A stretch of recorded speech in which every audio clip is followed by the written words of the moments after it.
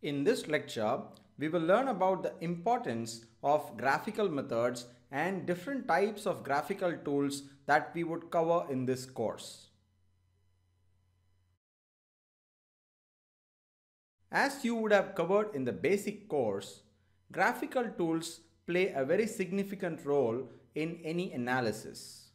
In fact, I would emphasize that try to solve the problem using graphical tools first and if you are not able to make a headway, then look at pure analytical tools. And that's why in our basic or foundation course, we covered histograms, box plots, stem and leaf plot, and couple of other graphical tools. In this lecture, I would like to emphasize the importance of graphical methods and then move on to give an overview of what tools would be covered extensively in this course. As far as the importance of graphical methods are concerned,